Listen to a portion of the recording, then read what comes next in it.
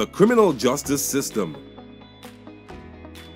Did you know that the criminal justice system involves more than just the courts and the judiciary?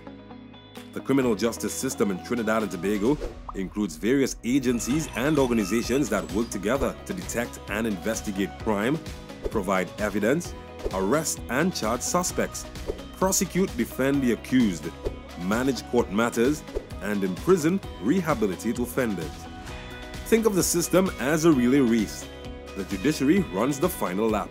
We'll delve deeper into the judiciary's role and its interaction with the criminal justice system's key players in this video, tracking a criminal case's journey from the crime's occurrence. Police investigate and charge suspects. The police charge a suspect once they accumulate adequate evidence. Serious crimes like murder or kidnapping require consultation with the Director of Public Prosecutions before charging. Following this, the suspect is presented to district court initiating preliminary inquiries in the case of indictable offenses or summary trials for summary offenses. Magistrates, otherwise known as district court judges, hear these. Police responsibilities in this process include filing the case and handling courtroom affairs, such as maintaining order and escorting defendants, providing the court with the defendant's criminal history from the Criminal Records Office to aid in bail decisions, safeguarding and submitting evidence such as firearms, clothing to the Forensic Science Center for analysis. Scientists analyze and interpret. Evidence collected by the police, including firearms, narcotics, or documents, are analyzed at the Forensic Science Center in Federation Park. The center has divisions specializing in post-mortem examinations and various forensic disciplines, including a lab for DNA analysis.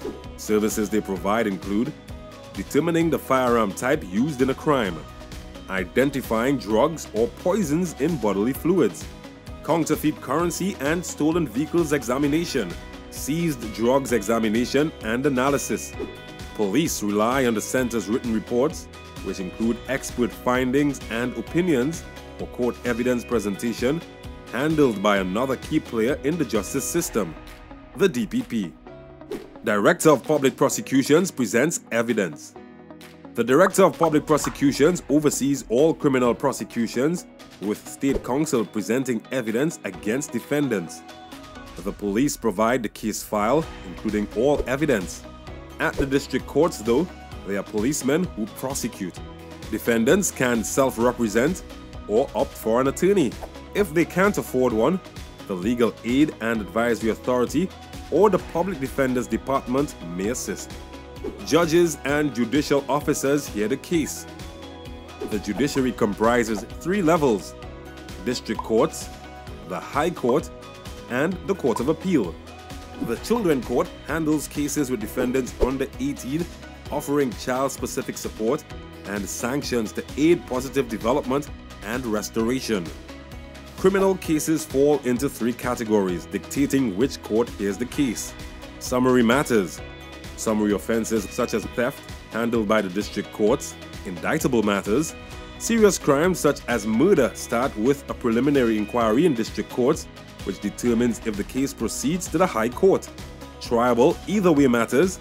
These offenses can go to either the High Court or a district court based on the defendant's decision after the prosecution's recommendation.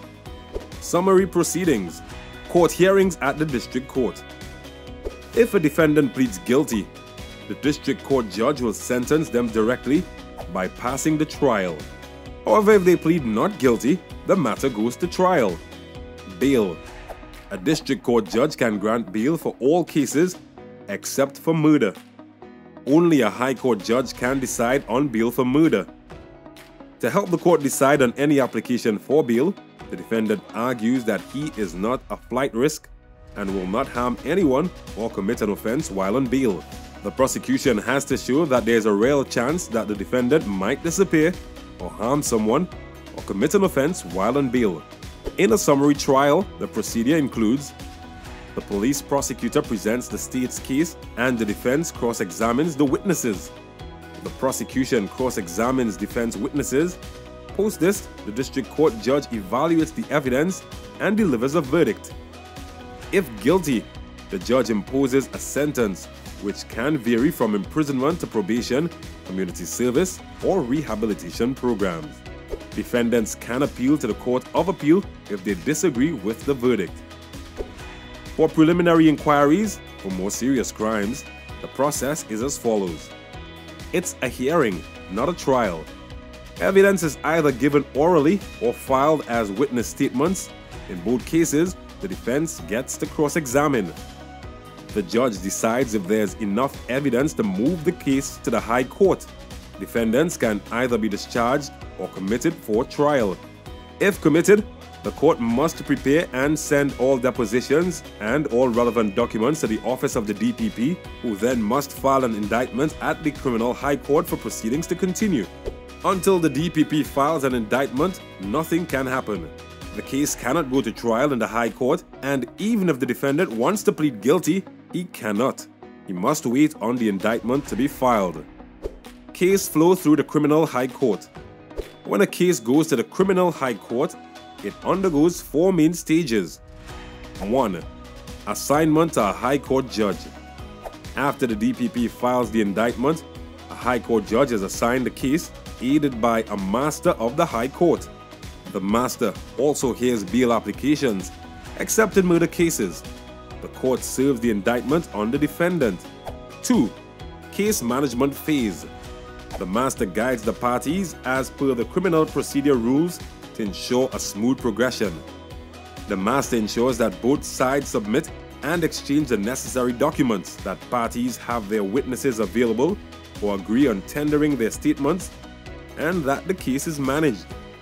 Post this phase, a certificate of readiness is filed indicating the chosen trial mode, jury or judge alone.